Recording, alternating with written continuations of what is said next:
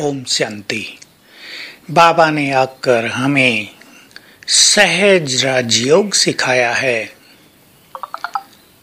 सबसे बड़ी विद्या दी है, जिससे हमारी बुद्धि डिवाइन और रिफाइन हो जाती है। संस्कार बड़े सुखदाई, निर्मल, शक्तिशाली हो जाते हैं। जो राजयोग हमें निर्भय कर देता है सफलता की ओर ले चलता है।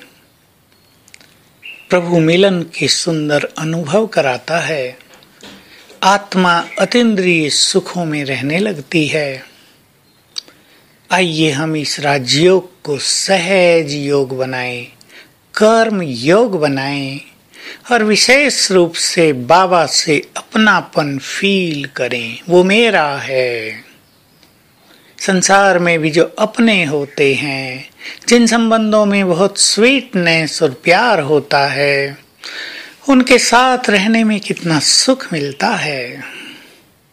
भगवान का नाता, जो प्यार का सागर है, सर्वशक्तिवान है, जो हमें बहुत चाहता है, जो हमारा सम्मान करता है, जो हमें सफलता के आध्यात्म के शिखर पर ले जाना चाहता है। ऐसे बाबा के साथ रहने में कितना सुख मिलेगा?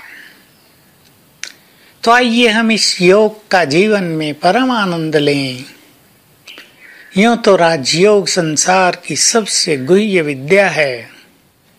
परंतु बाबा ने एक बहुत अच्छी डेफिनेशन दी है। राजयोग अर्थात मेरा कुछ भी नहीं। जिन्हें योगी बनना है उन्हें इस मेरेपन से मुक्त होना होगा। मेरेपन का त्याग करना होगा। इसकी बलि चढ़ा देनी होगी से ऊपर। इसी की यादगार में भक्ति में लोग बलि चढ़ाते आए सिर की। पर बलि चढ़ानी है बुद्धि के अभिमान की, अर्थात मैंपन की। चेक कर लें, मेरे अंदर कैसा मैंपन है, मेरापन है। राजयोग अर्थात, मेरा कुछ भी नहीं, मेरा तो एक है बस। मेरा मेरा मेरा, ये तो संसार में लगा ही हुआ है, और इसी से अनेक मनुष्य बहुत दुखी हो रहे हैं। मेरा बच्चा, हाय, कम पढ़ रहा है, हाय मेरा बच्चा। बुरी संगत में जा रहा है यद्यपि माँ बाप को ये चिंता होनी स्वाभाविक है, परंतु यदि मेरेपन का त्याग करके बच्चे को बाबा के अर्पित कर देंगे, ये तेरा बच्चा है तो वो उसे संभाल लेगा। मेरा मकान, मेरा धन, मेरा पति, मेरी पत्नी, ये सब मेरेपन जीवन में परेशानी का कारण बनते हैं। ये मेरे हैं तो मेरी बात क्यों नहीं मानते? बस यही सूक्ष्म मैंपन मनुष्य को परेशानियों में डालता है। सोचो, अगर बाबा भी यही सोचने लगे, ये सब मेरे बच्चे हैं, मेरी बात क्यों नहीं मानते? तो कैसा लगेगा? लेकिन वो ये जानता है कि इनका ड्रामा में जितना पार्ट है, जितना भाग्य ने मुझसे लेना है, कल पहले जितना इन्होंने लिया है, उतना ही ले रहे हैं। इसलिए वो साक्षी रहता है। मेरापन होते, अपनापन होते भी साक्षी भाव।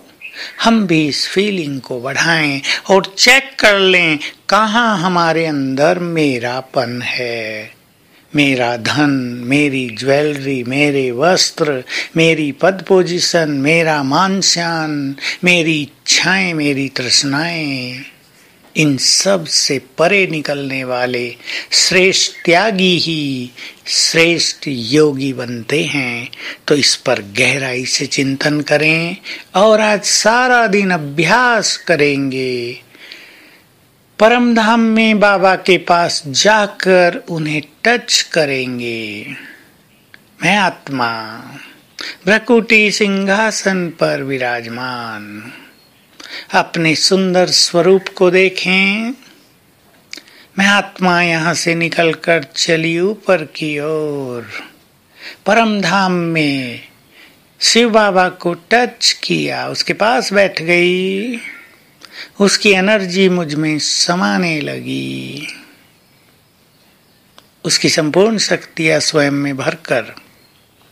मैं आत्मा नीचे उतरी अपनी देह में। फैलने लगी ये शक्तियों की किरणें चारों ओर। ये ऊपर जाने की और वापस देह में आने की ड्रिल आज हर घंटे में दो बार करेंगे और मेरेपन से मुक्त होने पर ध्यान देंगे। ओम शांति।